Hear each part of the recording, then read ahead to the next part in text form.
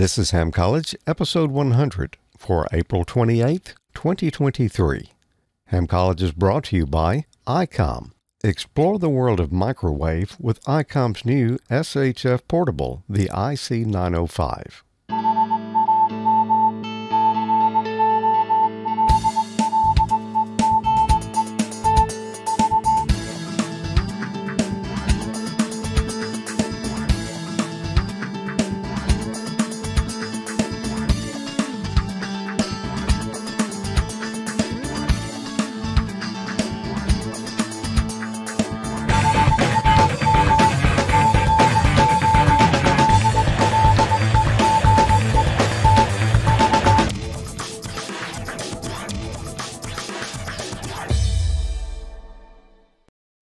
Evening. Welcome to another episode of Ham College. I'm Professor Thomas, And I'm Dean Martin. and we have some questions for you tonight.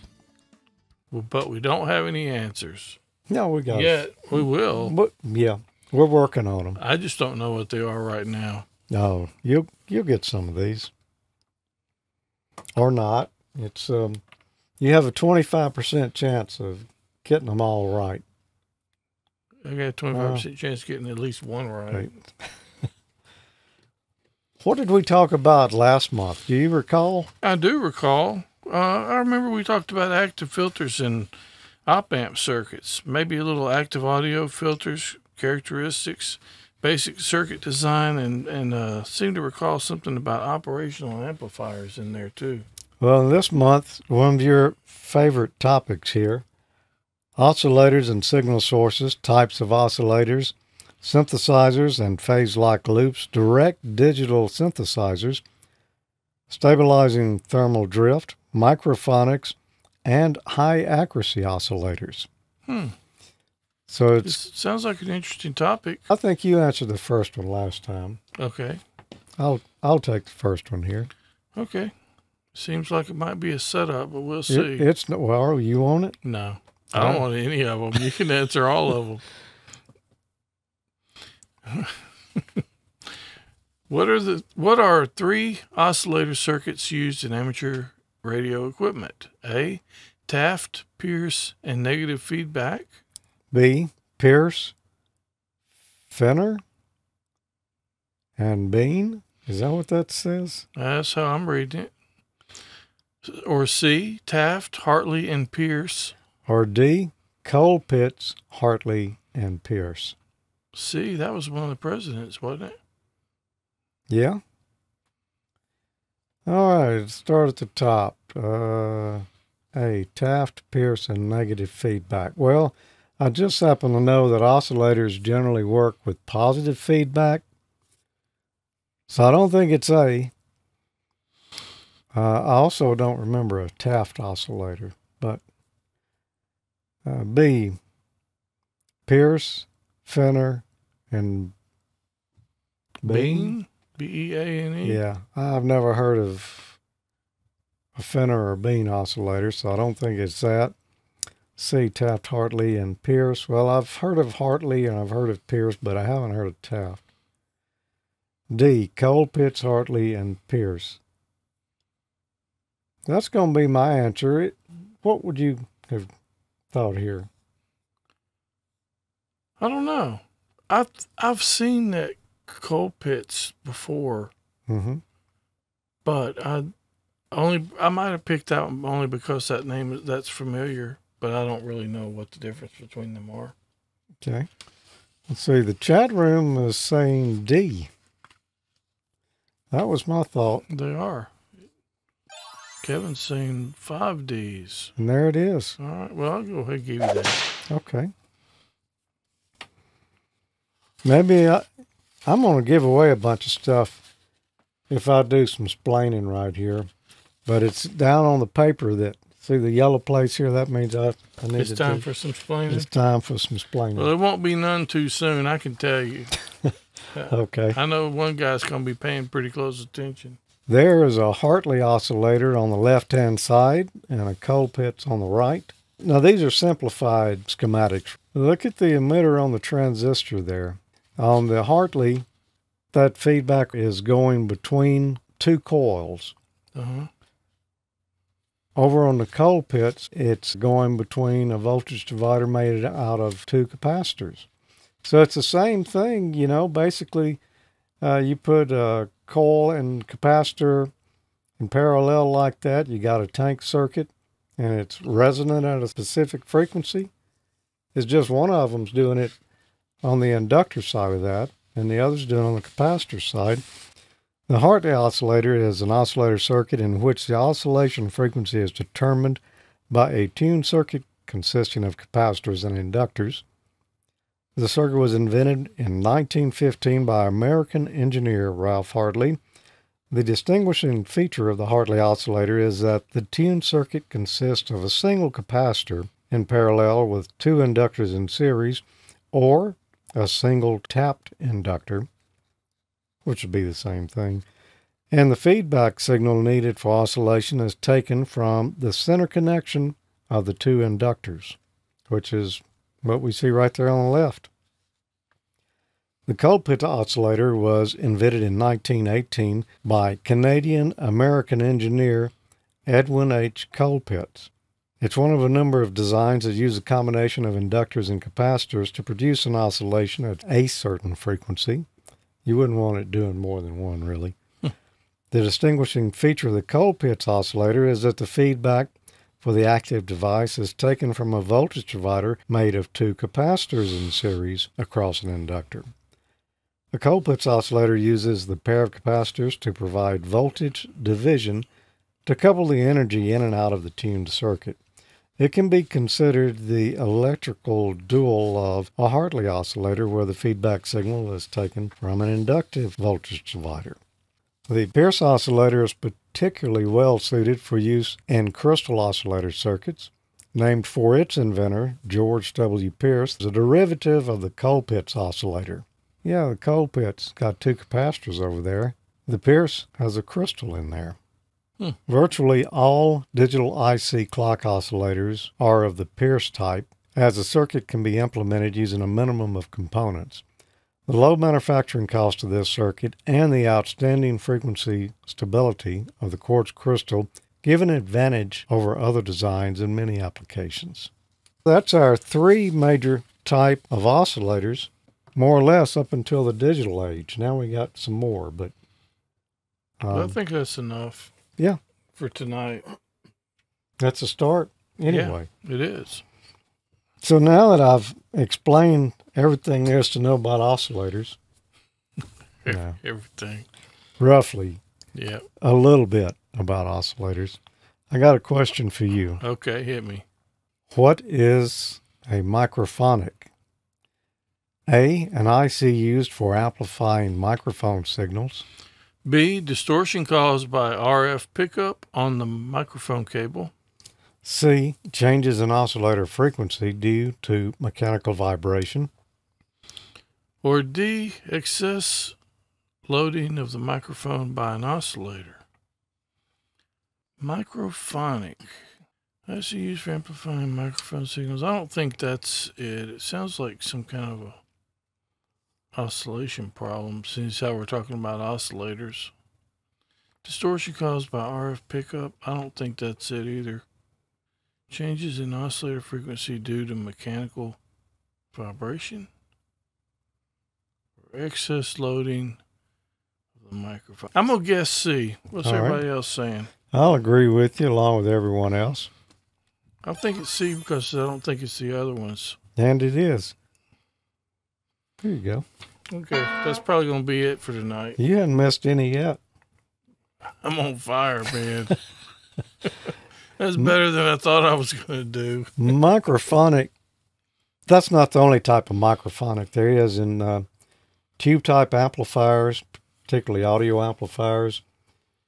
Some of them you can bump the tube or bump the cabinet and you'll hear it. You'll hear the tink, tink, tink. Mm-hmm. And that's another type of microphonics that uh, yeah. tubes can become microphonic with age or bad circuit designs, I guess. How is positive feedback supplied in a Hartley oscillator? A. Through a tapped coil. B. Through a capacitive divider. C, through link coupling. Or D, through a neutralizing capacitor. How is positive feedback supplied in a Hartley oscillator? I'll start at the bottom D through a neutralizing capacitor. Now, a neutralizing capacitor is used to, um, hmm, to say neutralize an amplifier or prevent it from oscillating at frequencies you don't want. So that wouldn't be positive feedback. Uh, if there's any kind of feedback, it'd be negative. Um, see, through link coupling. Mm, no, I don't believe so. B, through a capacitive divider. No, I think everyone knows that's a Colpitts type of circuit. So I'm going to say, hey, tap that thing through a tapped coil, like we saw in the photo earlier. Yeah. Yeah, like like we saw in the one I still got on my screen here. Okay, you need to hide that photo now. Everybody's saying, hey, I thought you said these were tough tonight. They were until you read that stuff there. Yeah. It Because I honestly had no idea. Yeah, it did. I had absolutely no idea whatsoever on any on any one of these. Yep. That's okay. I'm holding back some more we hadn't explained. Okay, I'm sure. Yep. My only hope is the process of elimination. How is positive feedback supplied in a Colpitts oscillator? A. Through a tapped coil. B through link coupling, C. Through a capacitive divider. or D through a neutralizing capacitor. Well, since we just discussed this, I'm just going to go straight for the answer on this one because we just you actually mentioned it just a minute ago too on Yeah. your question. So it's got to be C through a capacitive divider. That's, that's what everybody's saying over in the chat room. I'm inclined to agree. Would be pretty embarrassed if I missed that one, although it's not beyond me. I did want to say one thing here, and that's just on that question right there. How is positive feedback supplied in a Colpitts oscillator? Positive feedback, not negative feedback. If you've got positive feedback, you're taking a little of the output, putting it back to the input, it's going to oscillate. Just like if you took a microphone on a PA system and stuck it in front of the speaker, you're going to hear a squeal. That's positive feedback. If it was negative feedback, it would be suppressing the desire to oscillate. But by Okay. positive, it keeps adding to the signal and just re-amplifying itself till it bursts into uh, oscillation. So oscillators, as a general rule, all you know, uh, well, I say all, mostly work with positive feedback. That's interesting. I don't think that'll be a question here, but um, Well, it's a darn shame it's not. yep, I Things how we just covered it. yep. Marty says positive feedback, well done. There you go.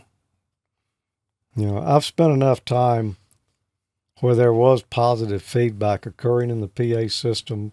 It's kind of ingrained Oh yeah. in my thought process now, especially when a band sets up and they've got their speakers behind them Mm-hmm. to their microphones.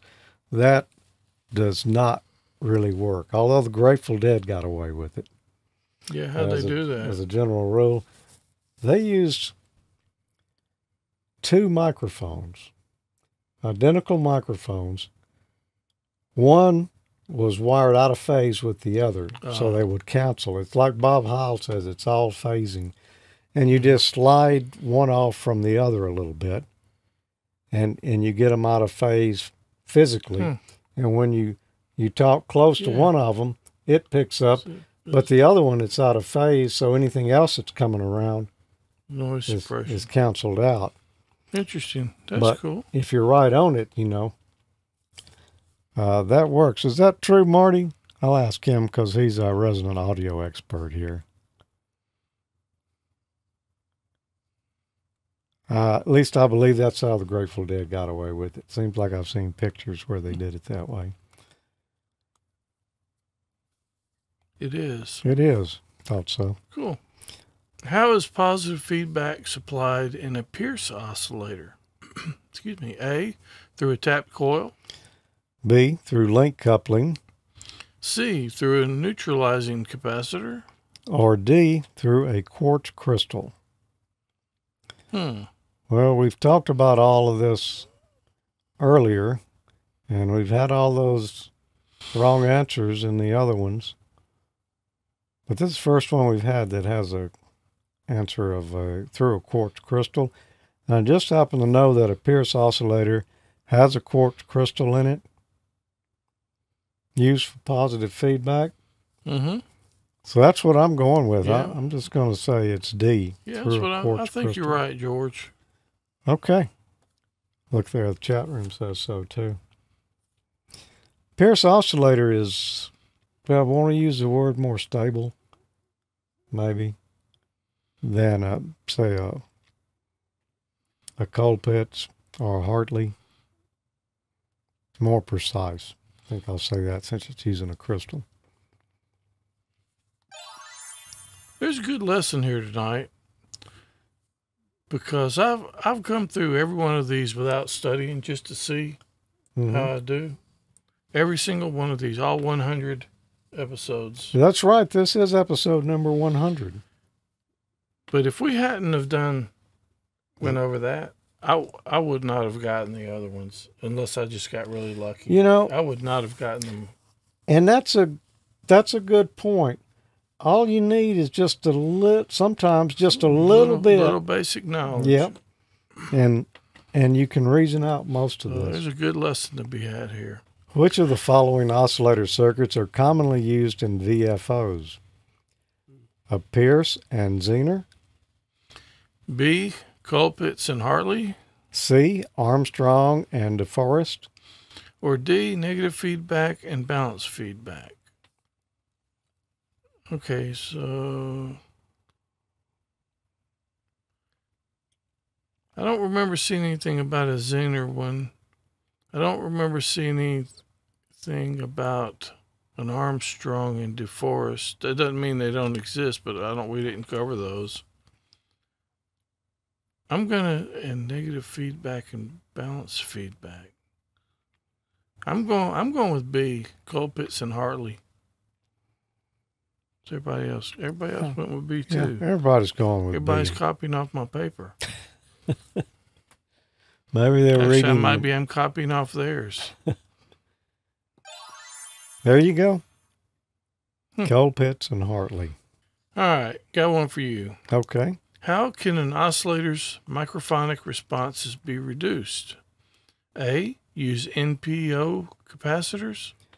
B. Reduce noise on the oscillator's power supply. C. Increase the bias voltage. Or D. Mechanically isolate the oscillator circuitry from its enclosure. Well, I think you probably know the answer to this one. I think it's D. Uh, yep, that's where I'm going. It's where all the chat room's going. You know, nobody's got any wrong tonight that I've noticed. Yeah. As hard as we thought these questions were Yeah. coming in, everybody's got Well, everything. don't don't sell short because they were Well, they're going to be they were little. they were in, they were impossible about what time is it? About uh, thirty six minutes ago. Well, they'll they'll they'll change a little bit before we get done with them tonight. So um, yeah, it's D. Microphonic. Everybody got that, and you know, a microphone, mechanical. Which of the following components can be used to reduce thermal drift in crystal oscillators? A. NPO capacitors. Ooh. B. Toroidal inductors. C. Wire wound resistors. Or D. Non inductive resistors. Which of the following components can be used to reduce thermal drift in crystal oscillators? I don't know. That would be the only crystal oscillator we had. Would be that Pierce one that we showed. I'm gonna, I'm still gonna go with the capacitor A. Okay. Everybody in the chat room is saying A. You know, there's a bunch of smart people in here, or somebody's been studying, Uh huh. but you didn't study and you got it right. No, I didn't study, but I just remembered the picture. What do you think NPO is? I have no idea. That was gonna be my next question to you. NPO is a negative positive zero. So that's NP zero then. NP zero. But it, yeah, that's what it is. Zero parts per million divided by the degree centigrade. So a NPO capacitor doesn't doesn't uh, vary much in value with temperature. Hmm. And in the ones I saw, I should have had a picture here. Thermal drift. Okay, well that makes sense. The ones I saw look pretty much like a common old um, ceramic capacitor, Mm-hmm. but they're they're NP zero type, so higher quality. Now you know some oscillator circuits, and this is not even coming up tonight, but some transmitters will have an oven. The crystal is sitting inside an oven that's temperature yeah, see, Tom talking about that. Oh, wire round wire round wire wound resistors would work if you use them as a crystal oven. He said. Yeah. But Not so sure would, what that means. so would a non-inductive resistor if you used it as an oven, I would think. But anyway, it's a temperature controlled oven. You put the crystal in there and there's a thermostat that kind of kind of regulates the temperature that the crystal is operating at. A lot of um, really? yeah, uh, most all AM broadcast transmitters had a circuit like that in them. I'm gonna have to look that up. That's Mm. interesting. The crystals would have a little heater on them that's thermostatically controlled to hold it at a specific temperature. Uh, all the early ones had that. And I have seen uh, what we call Marti transmitters, not the guy with the box of unfulfilled Dreams. dreams, yeah. but um, a Marti brand transmitters that operate. Uh, well, there's two different bands. There's one band around 161, 62 megahertz. Another one around 450 megahertz. That radio stations use to go out and do a remote broadcast, and they transmit on those frequencies back to the station, pick it up off the air. So it's more or less like frequencies right above two meters ham radio and right above uh, 70 centimeter ham radio. Hmm. Um, but usually wider bandwidth, a little higher quality, you know, just, just because it's going to be used for broadcast. But the Marti brand of transmitters, they had modules built in these aluminum cans inside of them, and the oscillator can was stuffed with fiberglass insulation, and that's how they they held it on frequency. Oh wow. Yeah. That's, that's really interesting. Yeah. Uh, I had no idea such as that existed. I'm gonna I'm gonna look that up later when I get back home, yeah, just to see some examples. cool. All right, I wish I'd have got into stuff like that a lot more when I was younger. you can still get into it. Yeah, this is the time is not. I, I'm interested in it. I'd like to, but Mhm. just the time's kind of the problem these days. But yeah, Yeah. maybe when I retire. Okay. Well, that's like half our questions tonight. Really? Yeah, Not a buzzer yet. not a buzzer yet. Hmm. What do you say? I thought we'd be changing the batteries in that thing by now. Let's take a quick break, come right back, and see if we can get a little buzzer action going. All right, let's do that. Aim higher and discover the world of SHF. Explore the world of microwave with ICOM's new SHF portable, the IC905.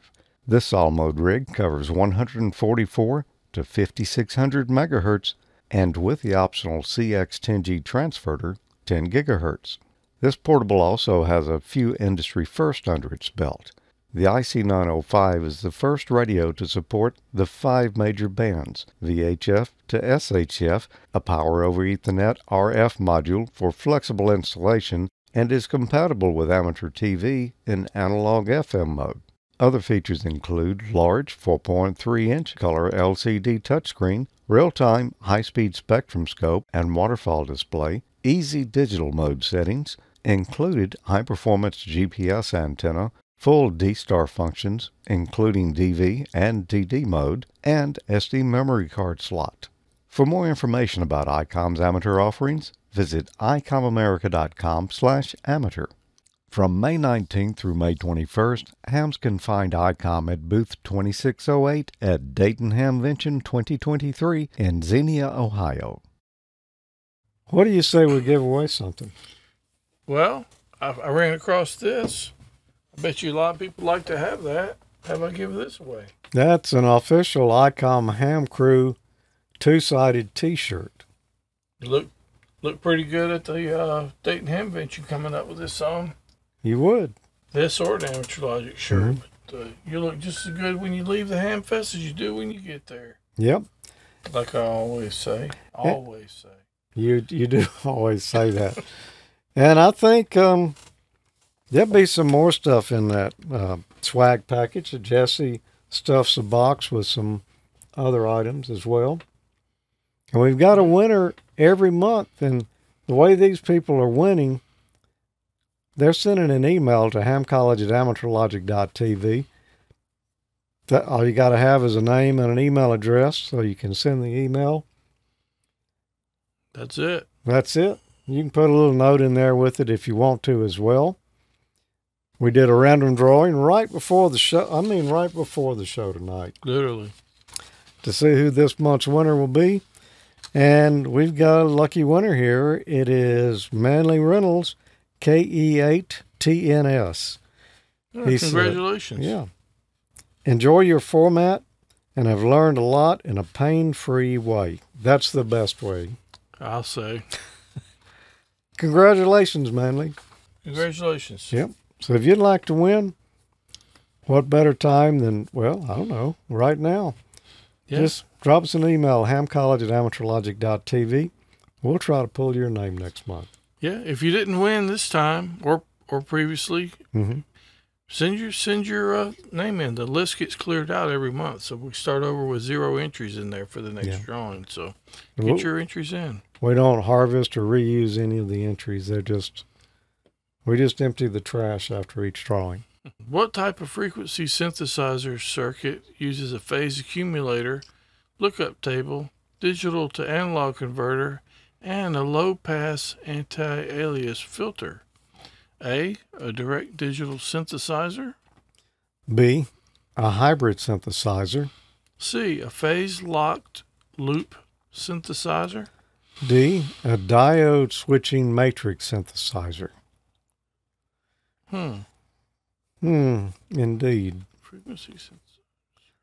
What type of frequency synthesizer circuit uses a phase accumulator, lookup table, digital to analog converter, and a low pass anti alias filter?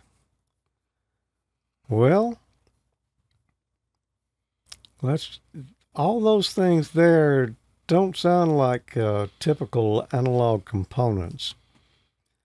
A diode switching matrix synthesizer, no.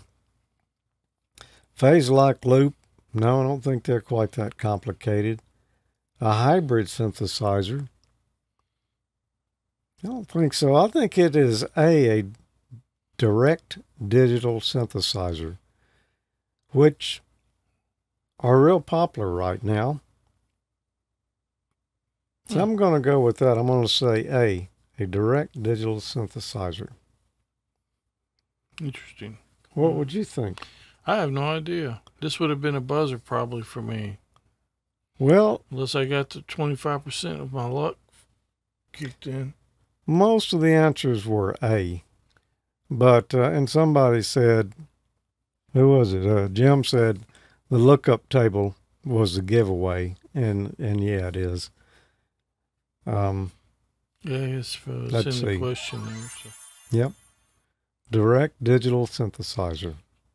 It's a method employed by frequency synthesizers used for creating arbitrary waveforms from a single fixed frequency reference clock.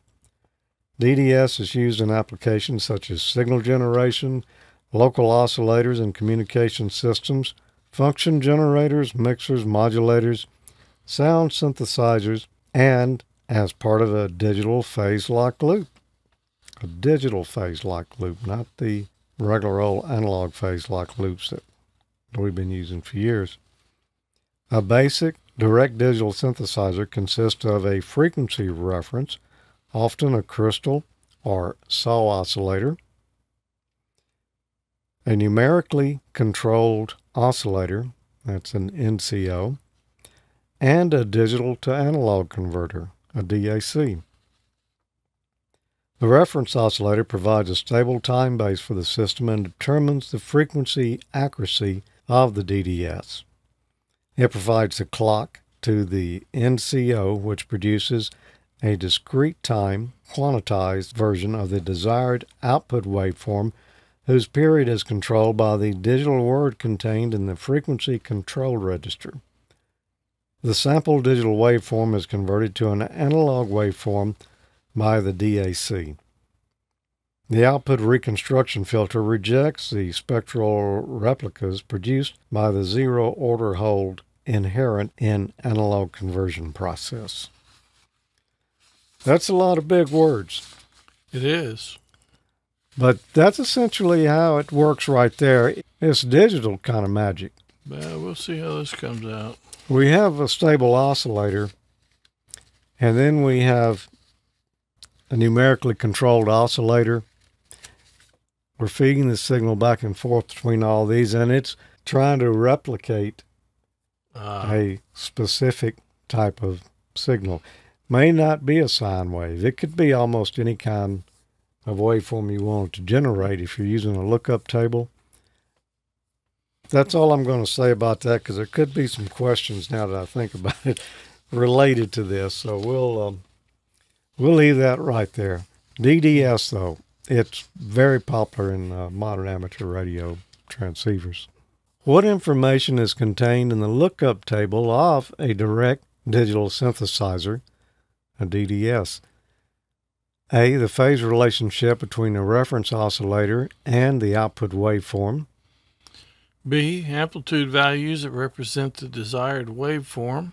C. The phase relationship between the voltage controlled oscillator and the output waveform.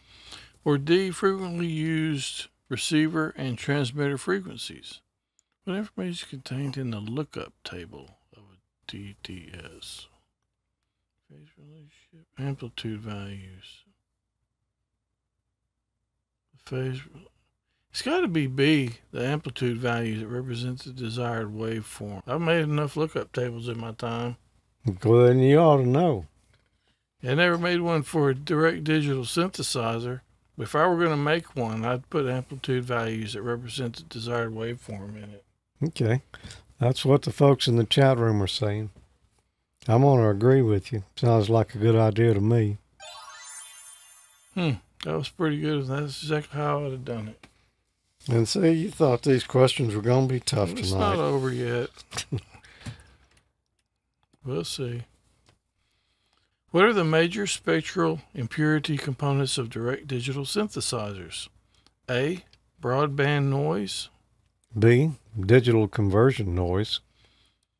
C. Spurious signals at discrete frequencies. Or D. Nyquist limit noise. What are the major spectral impurity components of a direct digital synthesizer? Of direct digital synthesizers. Okay. A. Broadband noise. Now, this is digital, so I don't think that'd be just like Yeah. white noise or broadband noise in there. B, digital conversion noise. That would be my guess. Yeah, but I- remember we had that filter on the output of the direct digital synthesizer. That was, you know, that's sort of like we've talked about uh, A to D and D to A converters before, and you know we put uh, the filter on the output of it there, Yeah, I remember that being on there too. converting digital to analog, and then that filters out. It's basically a low pass filter. Reconstruction low pass filter. Yeah. If my memory serves me well. Oh, yeah, in your computer. Uh, just so happened to pause it yeah. there when we were doing it so I could look at it. D. Nyquist limit noise. No. C. Spurious signals at discrete frequencies. And that's going to be it because this is this is direct digital synthesis. So if there was going to be any noise in there, I mean it's a digital circuit, so there's not going to be broadband noise and all that kind of stuff in Mhm. there. I, I would buy that. But there could be, you know, some spurious signals at specific frequencies. So, discrete frequencies. I'm going to say C. Chat room's a little mixed on that one. Yeah, it's kind of split down the middle. Some Yeah. got B's, some got C's. You could see that it could be B. You could see that it could be B. All right, let's Let's let's see what you did there. That's yeah. clever. let's.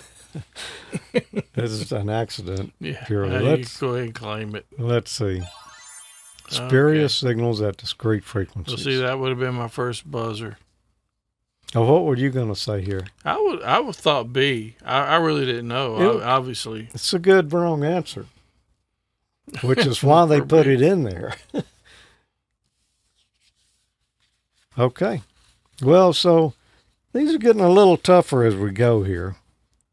Which of the following must be done to ensure that a crystal oscillator provides the frequency specified by the crystal manufacturer? A. Provide the crystal with a specified parallel inductance. B. Provide the crystal with a specified parallel capacitance, C. Bias the crystal at a specified voltage. or D.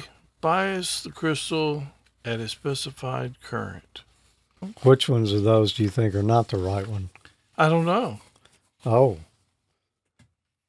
I don't think it's C or D. okay. So I think it's going to be A or B. I think.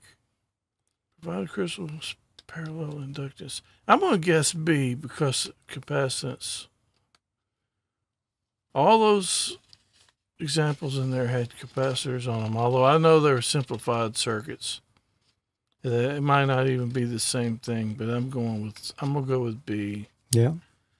I'll agree with you. It's a little mixed in the chat room on that one. But I don't ever recall seeing inductor across a crystal before. But I do recall seeing capacitors in parallel with the crystal. There you go. Okay. Here, you worked hard for that one. I got a headache. I need some Tylenol. All right. Ham College brought to you by Tylenol. Nope. All right. Which of the following is a technique for, for providing highly accurate and stable oscillators needed for microwave transmission and reception? A. Use a GPS signal reference. B, use a rubidium stabilized reference oscillator. That is that how you say that? Yeah, same thing as squishium. C. Use a temperature controlled high Q dielectric resonator. Or D, all these choices are correct. Rubidium, huh? Is that a thing? Yeah, I think it is. Which of the following is a technique for providing highly accurate and stable oscillators hmm. needed for microwave transmission and reception? You could lock it to a GPS signal for reference since GPS signals are highly accurate. I would say that's a possibility. Yeah. B, use a rubidium stabilized reference oscillator. And those are, that is a very high quality oscillator. I mean, I think uh, rubidium is, I don't know what I'm talking about, but it just sounds like it's a reference standard. Yeah. Yeah, I, I've I've heard of it before. Uh, C use a temperature controlled high Q dielectric resonator, and I'm familiar with uh, dielectric resonators. I didn't know they had a temperature controlled high Q one, but if they did, that sounds pretty good. And since I I'm I'm pretty sure A and B are both valid answers, and C likely is. I'm going to say it's D. All of these choices are correct. Okay. Chat room, Uh, they got D. yeah. Yep, mostly D in there. So let's see. All these choices are correct. Hmm.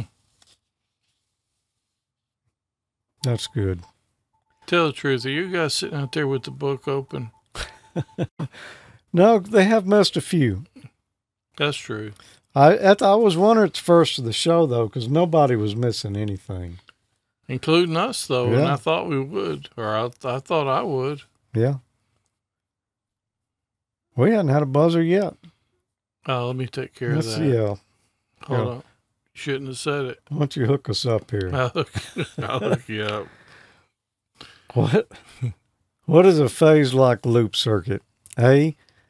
An electronic servo loop consisting of a ratio detector, reactance modulator, and voltage controlled oscillator. B, an electronic circuit also known as a monostable multivibrator.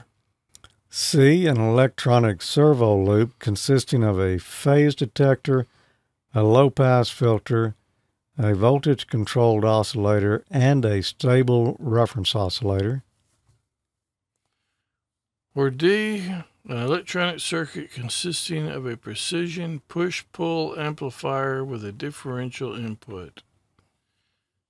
I'm going to scratch D off because that sounds like a load of bull to me. I'll agree.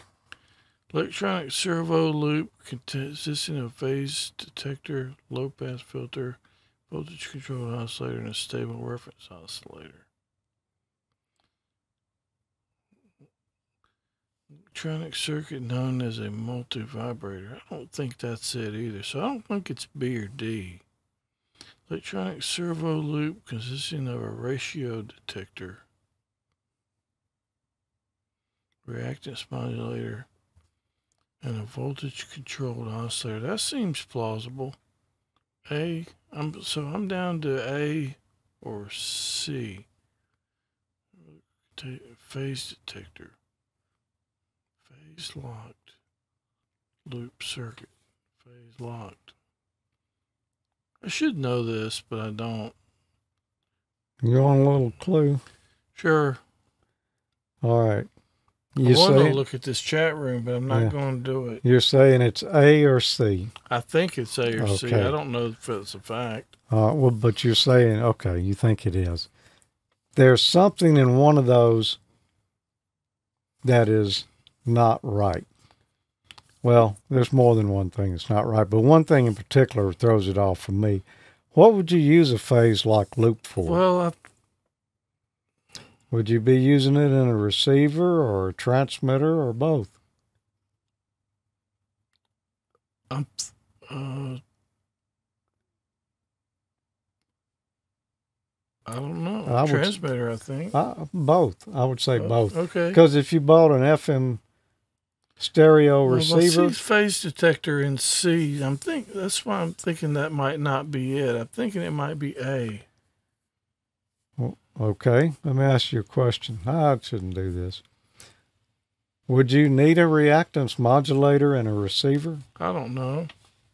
You're going to modulate and a receiver? oh, Or, that's true. yeah.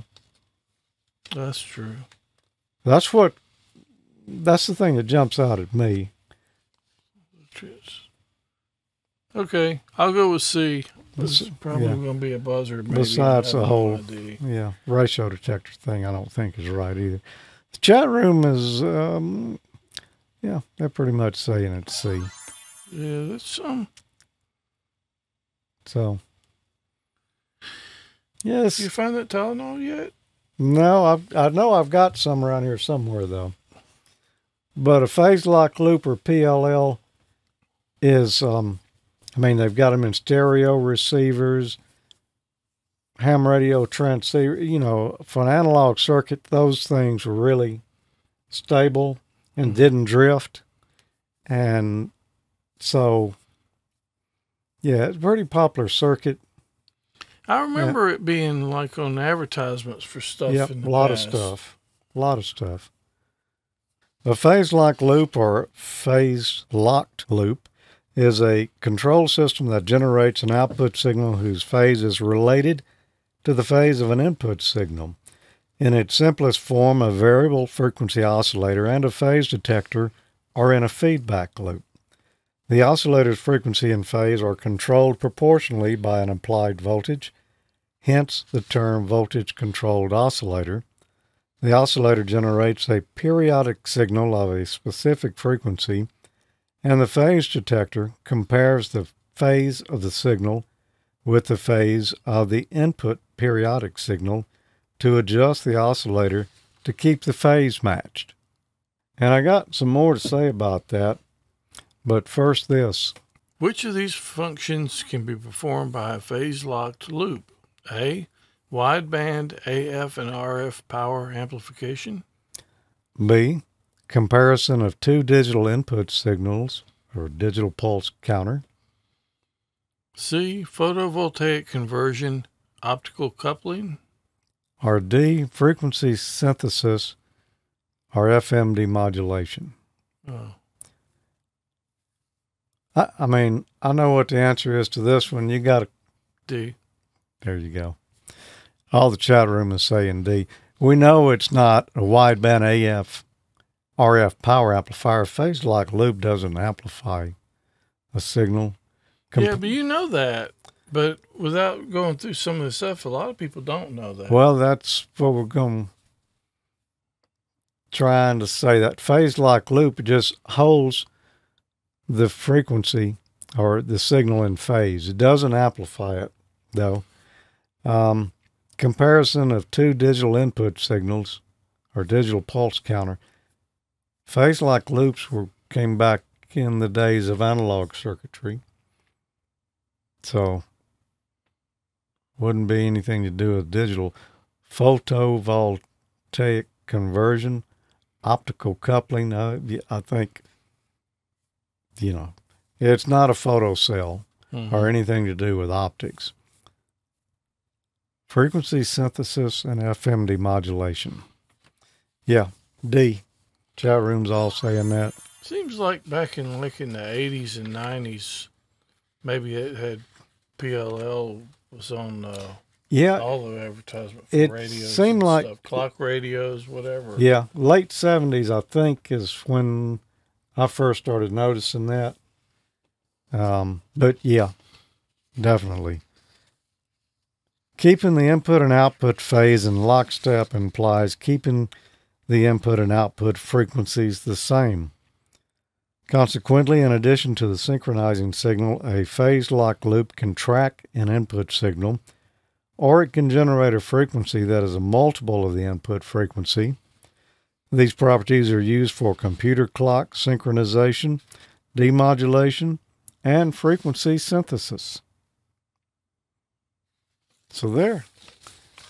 Hmm. We got through them. That was it. That's it. All right. Well, I'll see y'all next month. I got to get out of here. That's Just all. That's all you need to know about um, oscillators and whatever else signal sources, synthesizers, phase lock loop, direct digital synthesizer, stabilizing thermal drift, microphonics, and high accuracy oscillators that you need to know to pass your extra exam. I'm glad we're moving on. But th- this is a good. This was a good show. I definitely learned some things on this one that I could not have guessed my way through, or or or uh, worked out through process of elimination and reasoning. Yeah. Not not without the extra stuff there. Yeah. So A little of this I could have reasoned out and got, but a, particularly the very first stuff, you know, I don't. How Well, many those- times do you need to know what a Hartley or a Colpitts or a Pierce oscillator is? Not every day.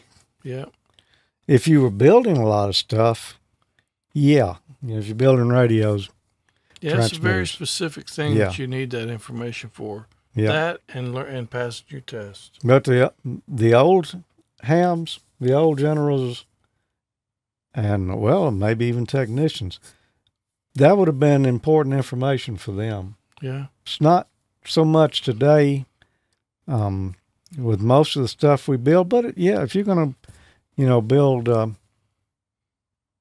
some of the basic type of receivers and transmitters we started with, Mhm. you'd need to know about those oscillators. Pierce, that's like I say, that's probably an analog oscillator is one of the the more popular types for a long time. The others are used too, but not not quite as stable.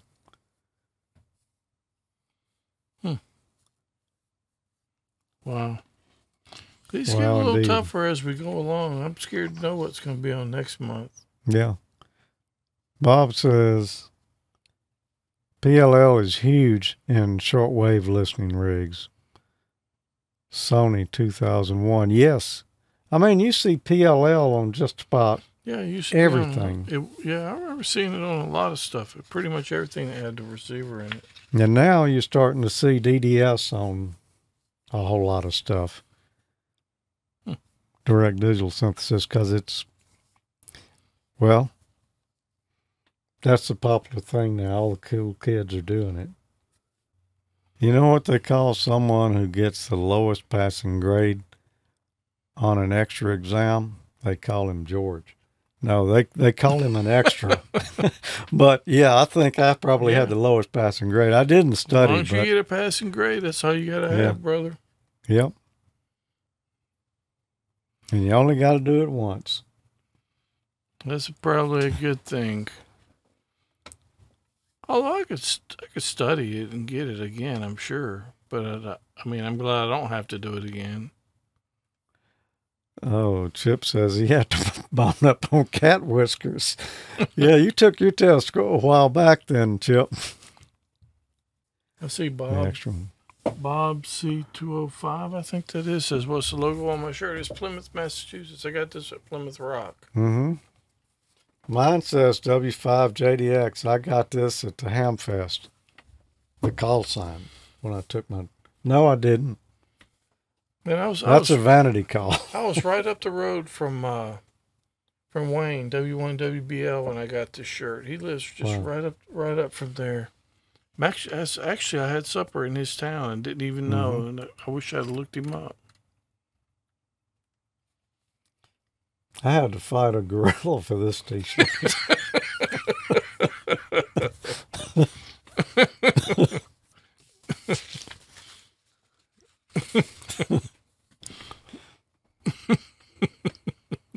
oh, Tom did all three of his on the same day. Like Jeri Ellsworth, I think she did hers too. It's kind of how I did, Tom. What, soon as they dropped the code on the on the tech, I went and took it the next weekend because it just happened to be they were giving it here. Soon as they dropped the code on the general and extra, went and took it. Well, I studied it. I, I think Uh, maybe a month or so before they were giving it again here. I don't remember how long, but you know Yeah, first opportunity I had, I, I went and took it. I took the general in Springfield, Yeah. and I immediately started studying for the extra. And then I, I came down here and took it. Yeah. Remember, I drove down here. It was snowing Oh yeah. on the trip down here. When I, It was a worthwhile trip though. oh yeah, Thanks for being here tonight, everyone. Fun times. Always good to to review this stuff and go over it.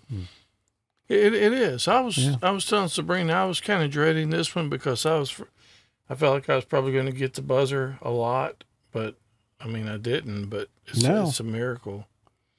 But I always dread dread it because I'm afraid I'm gonna like get buzzed a lot and Mhm. not embarrass myself because I don't study it. I mean, it's.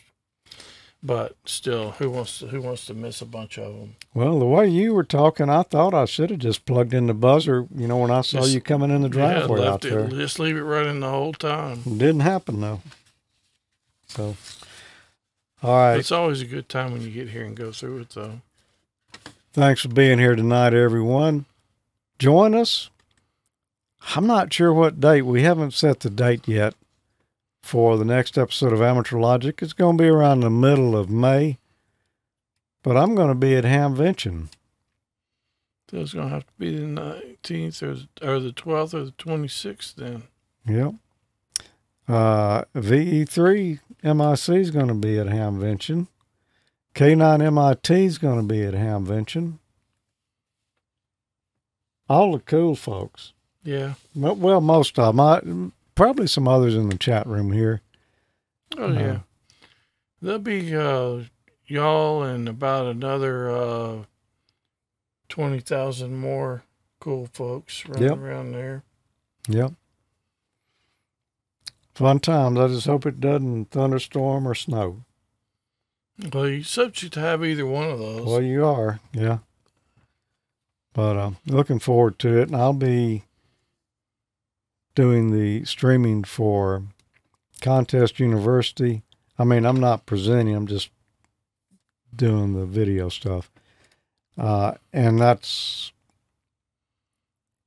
if you've never attended Contest University or watched a live stream of it, and you're not going to Hamvention this year check it out on the DX Engineering YouTube channel. It's a lot of good presentations in there. Whether you're a contester or not, there's there's yeah, information. I watched a good bit of it last year. Some good stuff. I could tell you who the presenters are going to be on that. Tim Duffy, K3LR, Michael Coulter, WHCI, Ray Novak, N9JA. They'll all be doing the welcome to Contest University 2023. And then Doug Grant, K1DG, Bob Wilson, N6TV, Ward Silver, N0AX, Philip Springer, DK6SP, uh, Dr. Nathaniel Frissell, W2NAF, Joel Harrison, W5ZN, and Rob Sherwood, NC0B. So you've heard of a lot of those folks before. Yeah. I met Ward Silver. He actually came to the Jackson Ham Fest He here did. one year. Yeah. We've seen him at some other Mhm. Hamfest around Yeah. too, but uh, yeah. So a lot of good presenters there. Should be a good time. I'll be watching virtually. With that, I'm going to find some supper. Okay. Thanks for being here tonight, everyone. And we will catch up with you in the middle of next month for the next Amateur Logic and the end of next month for the next Ham College. Until then, get out your study guides, do a little study. If you're not an extra yet and you want to take the exam, it's best to study. It has been passed without study before, but Not recommended. not recommended. It's probably been failed a lot more times without study than it True. has been passed. So 73, everybody. 73.